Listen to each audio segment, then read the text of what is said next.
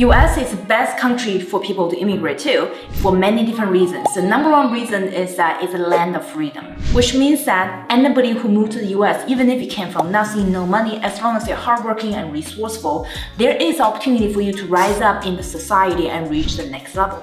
For example, 96% of the millionaires in the US are self-made which means that they came from nothing, but they figure out how can they rise up in the society. But only 4% of those millionaires came from family money. So average people like us who move to US can continue to rise up in the society. But it's very different from any other countries which have lots of corruption, such as China and any other countries, and myself come from China, so I can talk on behalf of China, that will take generations of people who came from lower class, middle class to get into the next level in different countries. For example, in China, the work environment in China is not friendly for people who's older than 35. It's a crazy, it's like age discrimination because a lot of companies, once you reach age 35, they see you as too expensive and too old for the company. And they frequently do not promote you anymore or fire you, or they continue to hire people who are younger than you, who can work longer hours than you, but much cheaper. So there's a dilemma for people who are in different countries thinking about how can I continue to grow my career, grow my wealth without work experience in the US. Myself moved to the US with only $800 in my pocket and within four years I became a director product with no friends, no money, no resources and no connections and I believe all of you guys can make it happen as well. But it took me a really long time to start my immigration journey, so that's why I summarize this five ways for you to immigrate to the US without work experience in the US, so it can speed up your immigration journey as well. Make sure to stay until the end of this video where I share with you the bonus tip how are you able to get remote job opportunities in the US but getting paid the US top dollars without moving to the US.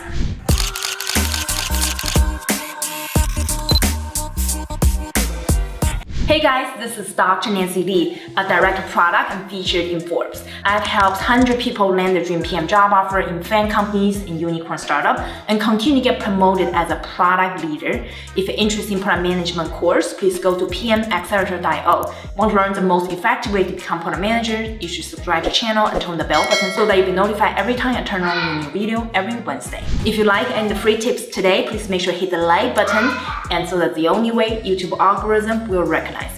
The number one way to move to the US is EB5 investment green card. Well, this is not available for most of people and because most of my audience like me who never come from money, but if you happen to have the money, yes, you can do investment and I believe it requires $1 million investment for you to move to the US and but even with the investment green card, there's a long pipeline, long waitlist for you to actually get your green card, and especially for countries like China and India and those kind of countries. And because there's a huge population and people with lots of money just trying to buy their green card. So now let's talk about average people's methodology, which is the second way, which is through marriage I personally do not like this methodology, but someone did it, and I hope if it's through marriage, it's out of true love. There are many different ways to get your green card through marriage, and actually through marriage is extremely fast. And the fastest way to land your green card through marriage is marry someone who already received 485 a green card approval stamp. In Chinese term, it's called 四八五难, which means that especially some men or maybe women who receive the green card approval, they're just in the final process to submit application to get a stamp and this is the fastest way to actually marry these people quickly. You can get stamped together as a family. But again, if it's for the true love, please do it. If just for the stamp and a green card, I suggest you not to do it. Another way through marriage is very obvious. You can marry a US citizen, but marry US citizen will have a temporary green card for two years, and then you continue to stay married for two years, and then you translate into permanent green card as well. I also have seen people who fake marriage is purely transactional business.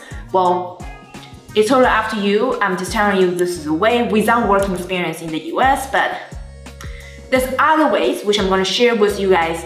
It's going to work much better for true love and also different ways to land a green card without marriage. The third way, which is work visa using H-1B. This is the most popular way for people who land work visa, which is also the way I land work visa and also eventually get my own green card. Even if my husband is US citizen and I decide not to get green card through him because I was in my long preparation to land my own green card anyway, and I always want to land my green card in my own way instead of through marriage. It's just like my personal choice. And but it took really long time. It took me 11 years to get green card, starting from after school, working for company on H1B sponsorship, getting sponsorship and getting green card sponsorship, waiting a pipeline of green card, and then finally land my uh, green card. You can check out this video where I talk about my entire journey and all the twists and turns throughout the entire process. You can check out if it's the right way for you to go through this H1B sponsorship.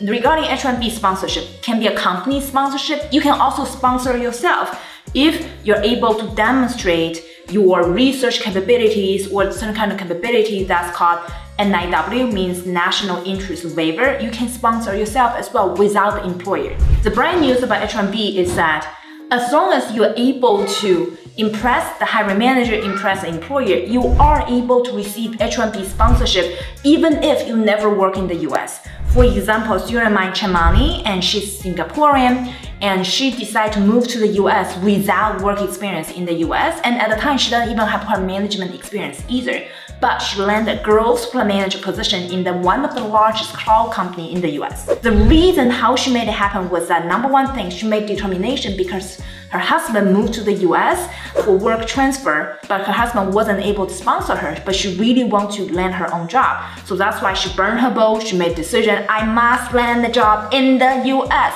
with H1B sponsorship so that I can spend more time with my husband. And actually she wrote three pages of advice to our PM accelerator communities regarding how she made it happen with no work experience in the US but land the growth PM position. This is fantastic news for her and for our communities. You can check out more of her readings and advice right here. So comment below, are you also on H1B? How long been waiting for your green card? I'd like to know.